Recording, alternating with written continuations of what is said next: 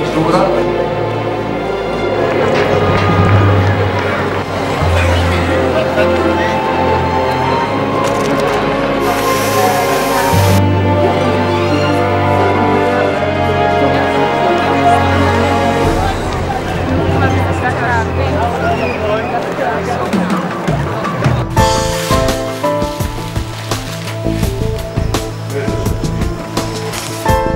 The, the days of the arrangement uh, of the exhibition are the most exciting days.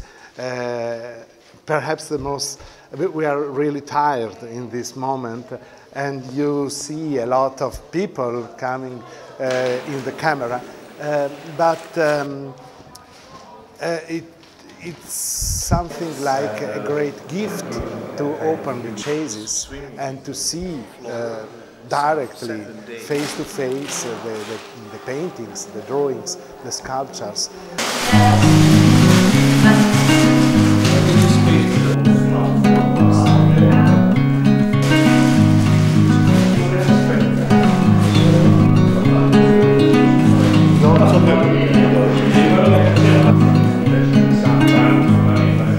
I'm really grateful with the direction of the National Museum of Fine Arts uh, for this occasion that follows the preceding occasion of the so charming uh, exhibition of the Madonna Esterhazy by Raffaello in our town hall during Christmas time of the past year.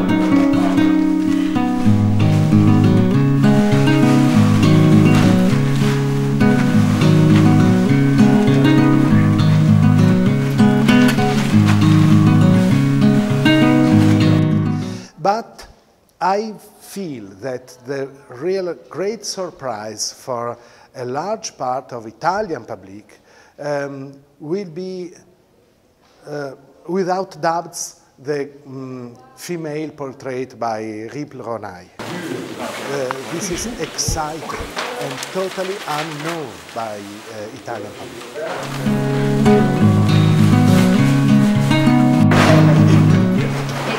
It's, so fantastic, so fantastic.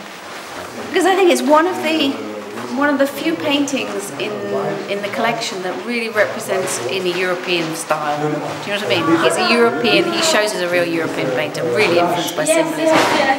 The color, I mean, the color and the intensity of the color in terms of expressing a sentiment is just so sim- similar to the Belgian symbolists, like Ferdinand Khnopff.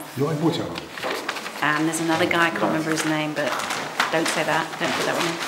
But um, the fact that the colour is expressing a certain type of emotion and a certain type of symbol to the public is so important in this painting.